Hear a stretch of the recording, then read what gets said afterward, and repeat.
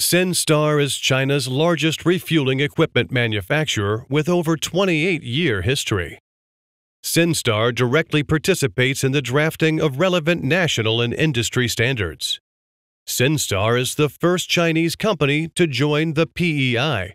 It is the only one company with a national fuel dispenser laboratory and fuel dispenser technical certification center in the industry importing the advanced processing manufacturing equipment and automated spraying system from Germany and Japan.